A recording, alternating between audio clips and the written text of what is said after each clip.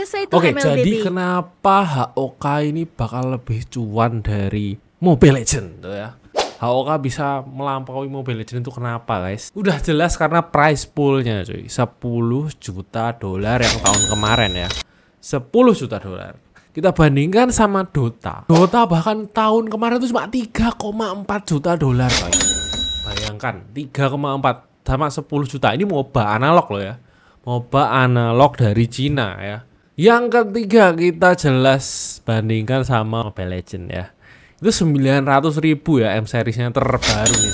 900 ribu bandingkan semuanya sama ini tahun kemarin. Dan tahun ini bakalan jadi 15 juta dolar ya.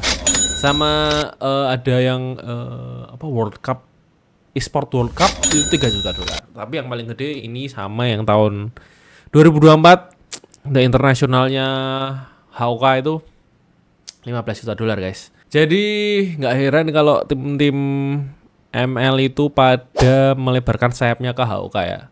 Jadi jadi ini akan jadi game yang paling cuan untuk paling nggak satu tahun pertama lah. Satu tahun pertama setelah dia rilis di 20 Juni, oke?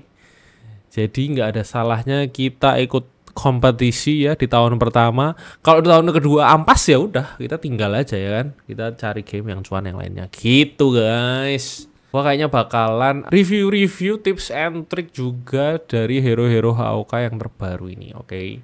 Karena cukup beda, ada yang sama juga sama MLBB, jadi kita gas saja. Tahun pertama HOK, kalau ampas, eh, kalau tahun kedua ampas ya nggak apa-apa, yang penting tahun pertama kita gasin.